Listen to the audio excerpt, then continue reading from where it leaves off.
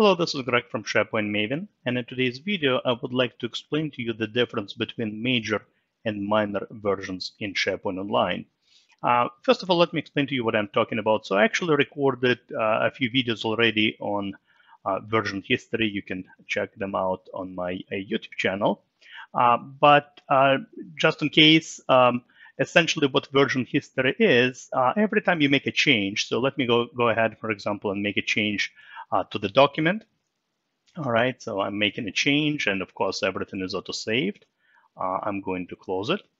Um, if we look up the version history, right-click uh, version history, we are going to see the revision history of this document. So um, I, you know, this was the original revision, and now I just made a change, so another revision was created.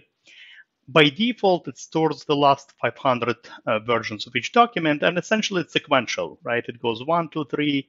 Uh, anytime you make a change, uh, it just uh, pretty much, you know, is a sequential, you know, version history. Uh, this is something we call major, uh, you know, version history, all right?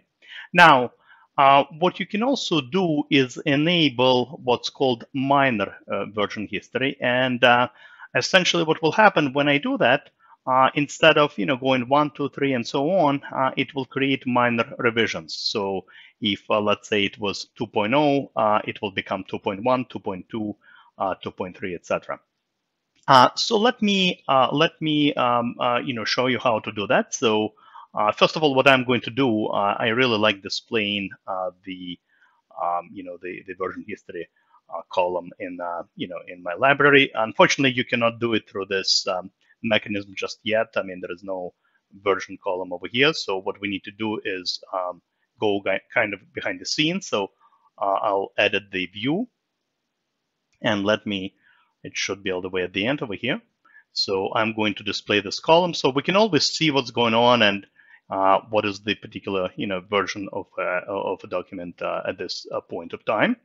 Uh, so let me go ahead and enable minor revisioning minor revisions, minor versions. So to do that, you click the gear icon from the library, library settings, more library settings, and over here, versioning settings, right?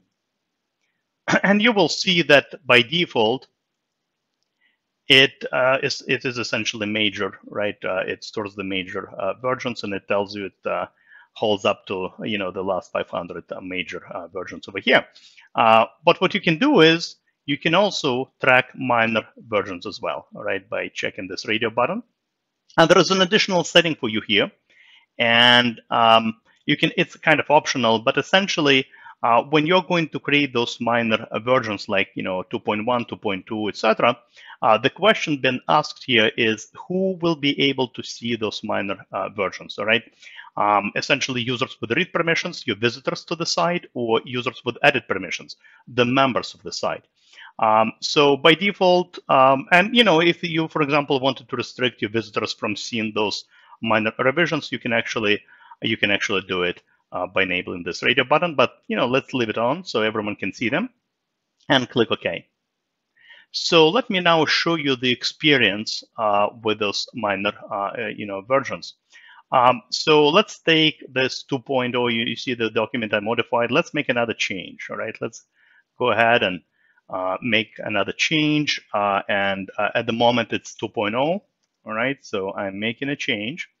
And of course, it's everything is auto-saved. I'm going to close it. Uh, let's make, uh, let me actually refresh the screen so we can see. Look at this. We're already at 2.1, you see? and again, same information if you click right-click, version history. Again, it's the same information. I just decided to display that version column on, the, on my library. Uh, let's make another change, all right? Let's make another change. So I'm going to once again open the document. I'm going to uh, type in something else. All right, so yeah, just like that. Again, uh, let's wait till it saves. Perfect. And I'm going to uh, refresh the screen uh, again. Oh, look at this. It's 2.0, uh, 2.2 now, you see. So another, uh, you know, minor uh, uh, version was created. Now the question is, how do we now you know, what, how do we get it to 3.0, right? So we made all these revisions. How do we get it to uh, 3.0? What what you need to do is you need to publish uh, the document, All right. So, and that's the whole idea why we have those uh, minor versions, and I will mention it again uh, a little bit later. But essentially, if we right click, more, and now we have this, you know, with this button called uh, republish. All right. So let me do just that. And look what happened. Uh, it became 3.0, you see. So it went from, you know, minor versions to uh, the essentially the next major one, 3.0. Uh, and again, if I do the same thing here, uh, look at this. You see, you don't even get to see those minor versions. You you essentially will see the the published one. So um, what is the use case for those minor versions, right? Why would you uh, enable this feature on your library? I think for the most part, you would probably be okay with major versions, but minor will really help uh, if you are trying to do some sort of uh, you know, I guess business process. All right, uh, maybe you want to uh, you know, you want to uh, everyone, all the users, all the visitors to your site to see the major changes, but all those intermediate changes that you made, let's say to a policy document, right, all those minor revisions, you really don't want them to see uh, those revisions. So anytime you have this, I wouldn't say, call it an approval mechanism or anything like that, but anytime you um, you know, essentially want to institute some sort of, you know, process uh, with official kind of publishing of documents uh, within your library, uh, you might want to consider uh, enabling uh, minor, you know, version history. So this way, all the users can, you know, all the members can make edits, you know, small edits to the document, and then when it's time for, you know, the policy to be visible and all the changes are kind of final, then you just need to go ahead and pretty much, you know, republish and um, uh, it will uh, it to the major, to the next major version, all right? So that's all I wanted to show you uh, in this uh, particular video. Hopefully you learned something new. As always, happy to see you on my blog, sharepointmaven.com, and as well as my YouTube channel. And uh, uh, thank you very much.